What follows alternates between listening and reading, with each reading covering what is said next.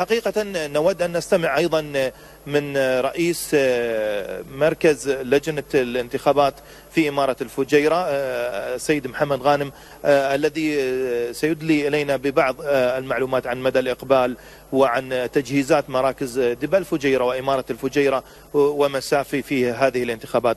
بداية سيد محمد مدى إقبال الناس مع ساعات الصباح الأولى في إمارة الفجيرة ومسافي ودبا الفجيرة أيضا؟ بسم الله الرحمن الرحيم. الحقيقة إحنا يعني اليوم أصبحنا الساعة 8 فتحت جميع المراكز الإمارة.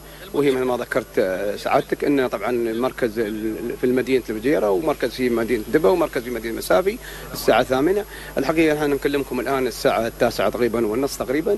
الحقيقة الأمانة لأن في إقبال يعني أكثر من المتوقع عندنا ولا ننسى أن إحنا في الساعات الأولى من هذا اليوم ونتوقع إن شاء الله على الساعات القادمة الإقبال يكون أفضل وأفضل يعني. هل هناك معوقات واجهت المراكز الثلاث كون أن يعني أنتم مشرفين على ثلاث مراكز ومتباعدة جغرافيا نوعا ما؟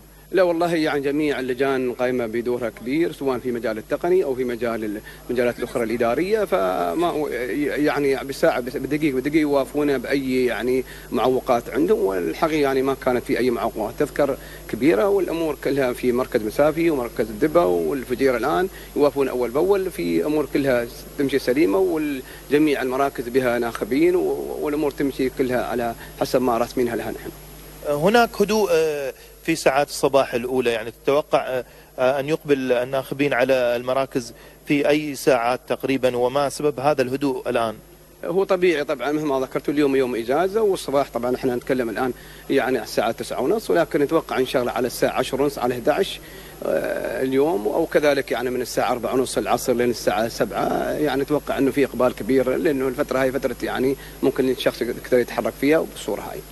مدى سهولة الترشيح والانتخاب والله يعني إحنا الناخب عندما يحضر المركز أكثر عن ثلاث دقائق ما ياخذ عندنا ومن ثم يتوجه وأنتم يمكن شفتوا على المباشر وعلى الوضع الطبيعي إنه الأمور كلها تمشي بسلاسة يعني. شكرا سيد محمد شكرا.